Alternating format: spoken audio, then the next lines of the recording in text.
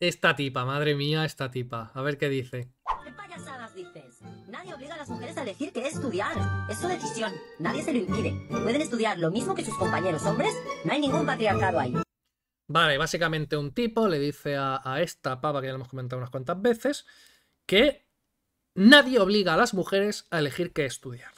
Bueno, sí, yo una vez conocí a una mujer que su padre le obligó a estudiar la carrera de física. O sea, ella quería estudiar bellas artes y sus padres le obligaron a estudiar física.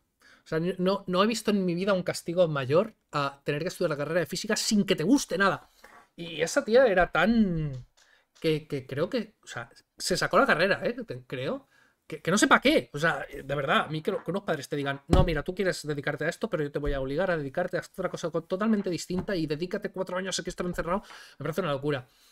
Pero bueno, aparte de eso, mm, nada, seguramente serían pa- padres muy progres que dirían, no, no, tú a hacer cupo de mujeres en una carrera masculinizada. Bueno, básicamente está diciendo eso, que nadie obliga a- las mujeres a lo que estudiar. Nadie les impide estudiar nada y, bueno, que, que no hay ningún patriarcado en la educación. Supongo que sería por un tema anterior, lo que sea. Pero a ver, me maravilla la forma de responder de esta tipa, porque lo hace fatal. Patriarcado ahí.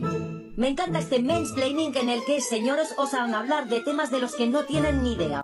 Se le hacen un mansplaining porque ese señor, di, Dictatou, porque eso es nombre de hombre, claramente, no tiene ni idea. A ver, a ver por qué no tiene ni idea. Venga, sorpréndeme. Manolo, lamento decirte que sí hay patriarcado ahí Aquí colgado. y está demostrado. Venga. Mira, según un estudio Ahora va a demostrar que sí que las obligan, ¿eh? ¡Obligan! Publicado en Science en 2014, las niñas empiezan a pensar que no son suficientemente inteligentes alrededor de los 5 o 7 años de edad. Vale, esto no tiene nada que ver. O sea, no tiene por qué tener que ver desde un inicio. Básicamente está poniendo un contexto, imagino, ¿no? A partir de los 5 o 7 años, las niñas empiezan a pensar que no son tan inteligentes. Bueno, vale. Luis Schneider, gracias por el superchat. En serio, es muy bueno tu canal. Y acá en Chile, solo estamos recién ahora viendo lo que pasa en Chile. Saludos desde el sur del mundo, amigo libertario. Gracias, muchísimas gracias por la donación. Gracias por el superchat. Sigamos con esto. En este estudio les explicaron una historia a los niños y niñas con un Bueno, y ahora sale esto. Debería dejar de leerlo, ¿no? Porque como leer- leerlo solo- SHWMMRK donated 10 mil pesos chilenos through Super Chat. En serio, es muy bueno tu canal, y acá en Chile solo estamos recién ahora viendo lo que pasa en Chile. Saludos desde el sur del mundo, amigo libertario. ¿Qué nos está pasando ahora en Chile? ¿Qué os ha ocurrido? Bueno, a ver. años de edad. En este estudio les explicaron una historia a los niños y niñas con un personaje muy inteligente y otra con un personaje muy bondadoso. Pues bien, tanto niñas como niños a partir de los 6 años asociaban el personaje muy inteligente con un hombre. Y esto es sorprendente porque las niñas son conscientes de que ellas tienen mejor rendimiento académico Espera, ¿esto qué tiene que ver? O sea, lo que demuestra el estudio es que las niñas no se sienten. se sienten menos inteligentes, pero. y lo demuestran porque ellas se vinculan más con el bueno. No- igual no es que se sientan menos inteligentes, es que igual se sienten más buenas. O sea, ¿por qué? Yo imagino que para ella ser inteligente es mejor que ser bueno. Entonces se tiene que aspirar a ser inteligente, no ser bueno, no ser buena persona. Lo, entiendo también, ¿eh? Bueno, tampoco lo entiendo porque inteligente tam... Bueno, entonces, como se, se empatizan más o se vinculan más o se identifican más con eh, el bueno, entonces es que no se sienten tan inteligentes. O igual no se sienten exactamente igual de inteligentes, pero más buenos. Entonces, no, no, no significa nada. los esto. 5 o 7 años de edad. En este estudio les explicaron una Es que- historia a los niños y niñas con un personaje muy inteligente y otra con un personaje muy bondadoso. Pues bien, tanto niñas como niños a partir de los 6 años asociaban el personaje muy inteligente con un hombre. Y esto Porque los hombres son malos. Es que igual la conclusión del estudio es esa, que los hombres son malos.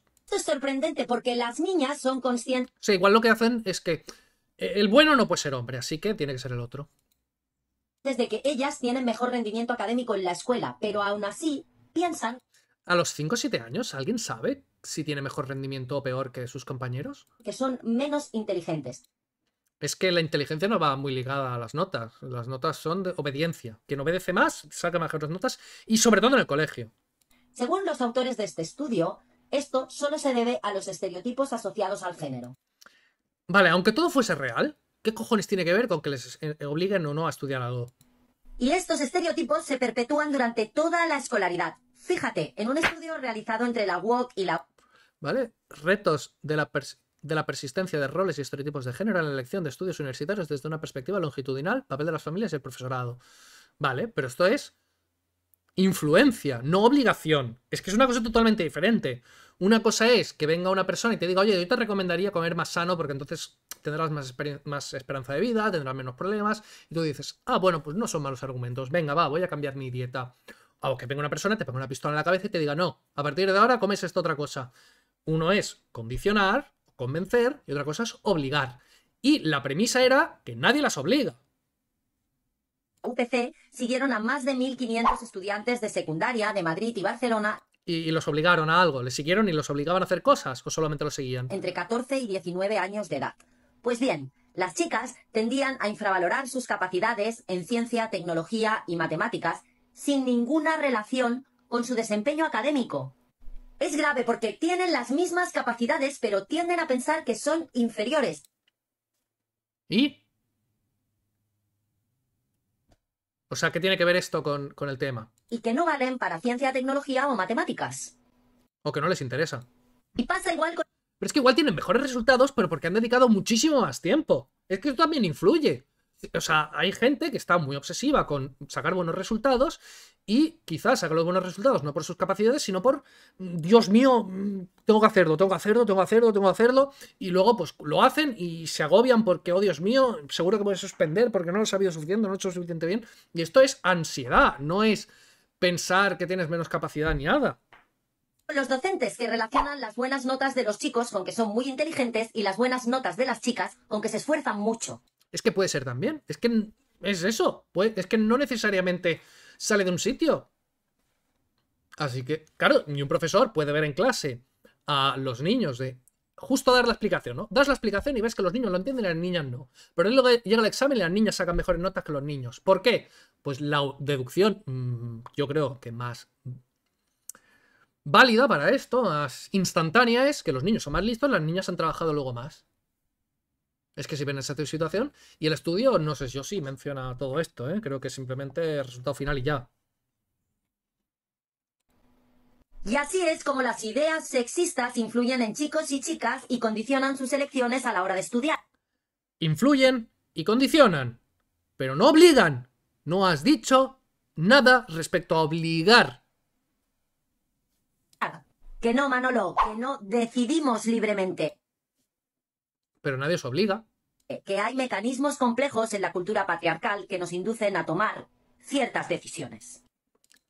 Pues me comes los.